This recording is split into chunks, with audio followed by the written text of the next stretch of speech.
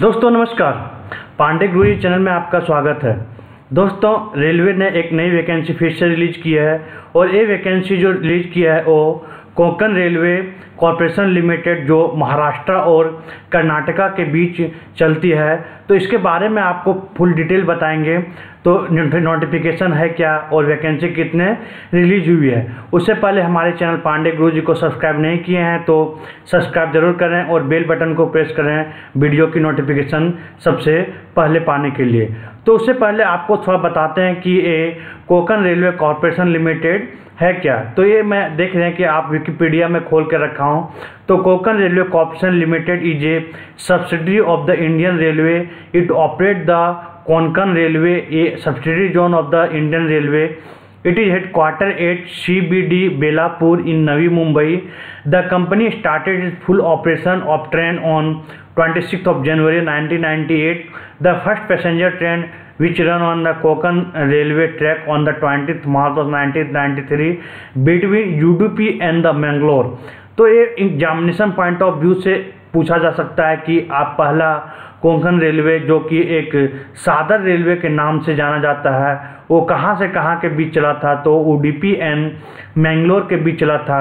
तो उसी के रिलेटेड नोटिफिकेशन रिलीज़ किया गया है।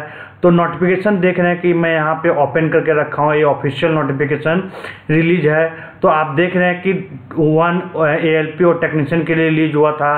टू जो रिलीज़ हुआ था, ग्रुप डी के लिए हुआ था। अभी जो रिलीज़ हुआ है, ये थ्री ट्वेंटी एट जो station master, goods guard, account assistant and senior clerk के लिए रिलीज़ किया गया है। तो जो टोटल वैकेंसी है, वो स्टेशन मास्टर में है 55 गुड्स गार्ड के लिए 37 अकाउंट असिस्टेंट के लिए 11 सीनियर कलर के लिए 10 यदि आप प्रिपरेशन कर रहे हैं रेलवे एग्जामिनेशन या गवर्नमेंट एग्जामिनेशन को तो इसको भी अप्लाई करना ना भूलें, क्योंकि आप एग्जामिनेशन का प्रिपरेशन ऑलरेडी कर रहे हैं और इसका जो लास्ट डेट है क्लोजिंग डेट है, वो 12 मार्च 2018 है।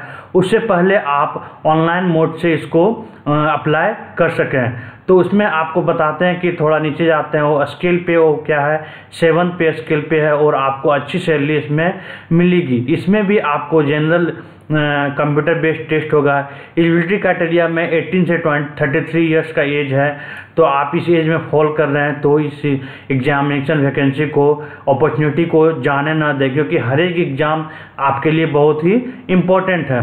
तो ये बेसिकली था, आप वेबसाइट पे इनके वेबसाइट पे जाके आप पूरा कंप्लीट डिटेल पढ़ सकते हैं।